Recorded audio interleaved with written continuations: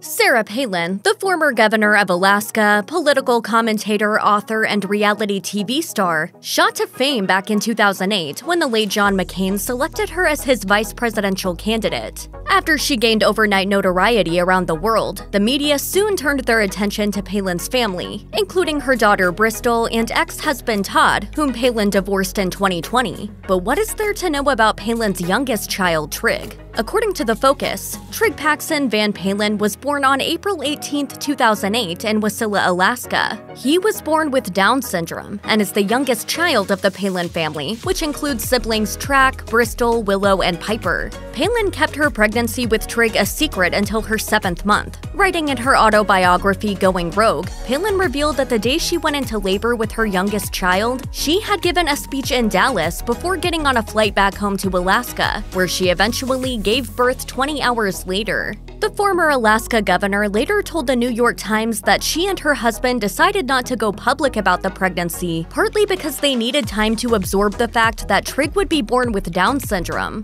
Sarah Palin also said that at the time, she didn't want the people in her state to worry about her ability to meet her responsibilities as governor. So Palin said she decided to hide her pregnancy with larger blazers and fashion accessories until she felt it was safe to come clean to her family and a few close aides. What they didn't reveal to many around them was Trig's diagnosis. In fact, his brother and sisters didn't know that Trig had Down syndrome until after he was born, as Willow Palin later told ABC News. So that was kind of a shock, but we didn't really care. He's still our brother. Unfortunately, the silence only made it possible for critics to call Palin's story into question. The Washington Post reported that there were rumors that Trig wasn't Sarah Palin's baby, but was in fact her older daughter Bristol's. There were other reasons people questioned Trig Palin's parentage. As Insider reported, observers called out holes in Sarah Palin's dramatic birth story, with some even accusing the politician of faking her pregnancy.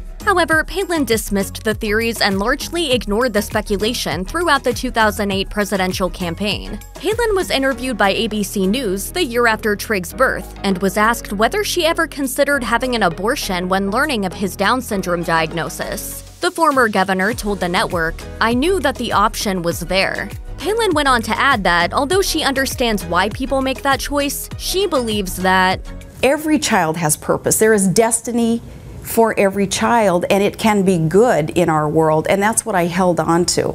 In 2010, Trig Palin appeared on the reality TV series Sarah Palin's Alaska, which ran for one season until 2011 and centered on the Palin family's life in Alaska. The cameras had stopped rolling when Trig started school in 2016, who was then 8 years old. By 2018, the former governor opened up to WJLA, saying that Trig was calling the shots at home. The most challenging thing is trying not to look too far into the future and being scared of what perhaps Trig would face. I'm just so thankful that he's got the big extended family with his big brother and big sisters. He's always gonna be taken care of. No one expects smooth sailing for Trig and his mom, but it was heartbreaking all the same to hear that in March 2021, Palin told people that she and some of her children, including 12 year old Trig, had contracted COVID 19. In the statement, Palin revealed that after testing positive, she immediately went into isolation, writing, I then observed symptoms in my son Trig, who curiously is the most enthusiastic mask wearer.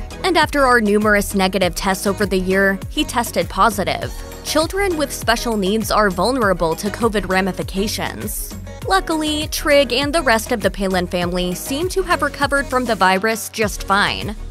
Check out one of our newest videos right here. Plus, even more list videos about people in the news are coming soon. Subscribe to our YouTube channel and hit the bell so you don't miss a single one.